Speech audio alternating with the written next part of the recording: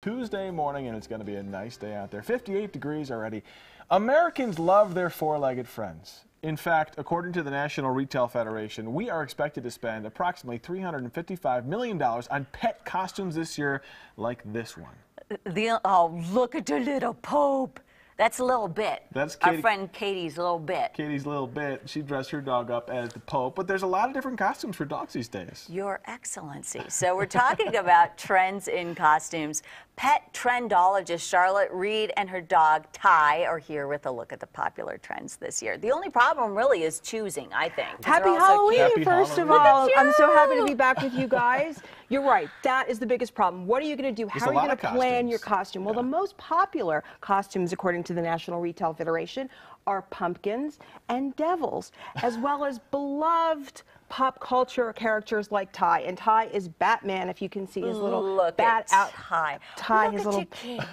Look at your cape. But what do you do for a dog that doesn't like to be dressed A up? A lot of Right. dogs don't like the costumes. So what do you you think of something Right. a great economic alternative is pet paint, which is basically paint vet safe, pet safe in a can, and we've got some pictures to show everyone. You use the great phenomenal stencil kit Oh my and you can paint Is with that the, Mike Wazowski? with the eight primary colors. No. Actually, that dog was a rescue dog and by painting him he got adopted. Oh then we my also have another picture of what you can do something very simple, wow. a black dog with white paint. But this stuff's so we safe for love it. dogs, It's safe and vet approved for dogs, and it comes with a stencil kit and a setting spray. $4.99. How about that? Cool. And the paint is about just a little less than $10. Very economical. Next up, we know what the biggest danger for trick or treat is, and that's candy for pets. right, Lots of chocolate. people do it, yeah. Chocolate as well as sugar-free candy that has xylitol. Very, very bad for pets. right. And we've got some little the popular little characters right there. But now what we pet parents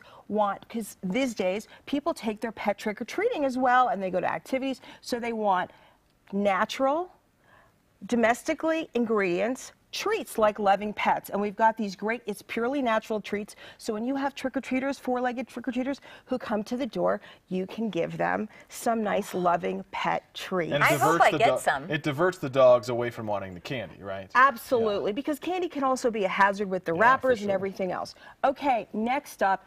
The doorbell's ringing, your pet is super, super stressed. What do you do? You want to think about something that can relax him. So, Pet Releaf makes a CBD tincture, which you can add in the water or the food, or actually directly put it in his mouth. You're gonna, for dogs and cats, you're gonna do a dropper, which has That's what they about right there, which is gonna be about two full drops, half an hour before the trick-or-treaters come, and one full dropper for the cat. And what's nice about it, it's non-psychoactive, so you don't have to worry about your pet getting a little high out there, so you don't have to worry about that. He'll be really relaxed, and what's nice about hemp is it's Superfood. It's packed with omega-3, 6s, and 9. A bottle like this is about $34.99, but you can use it as a daily supplement, And too. we're short on time, but Leeo, this is about watching your house when your pet is alone. Well, actually, Leeo's great. It's a fire safety device. It came out of California, and what you do is you plug it in, you connect it to the Leeo Smart app alert, Sure. and you will know because it'll hear your smoke alarm as well as your carbon monoxide detector. If it goes off, it'll alert you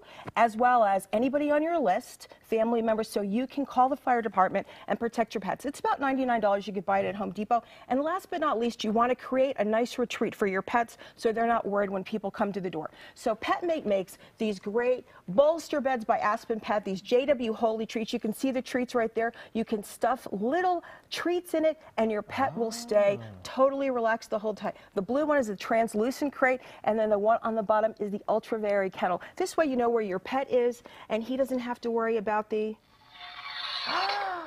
spooky noises of oh. the absolute Well, it's a lot. day. It's a lot for pets to deal with. On a It one day. really, It is really all is. the people. Thank you, Charlotte. Thanks so much for having Very, me. very very cute. And I'll probably be back for Christmas with oh, lots oh of yes, because we have to stuff those pet stockings. Hank, I know you have some bad news about the traffic. Yeah, we do. Breaking news out of the traffic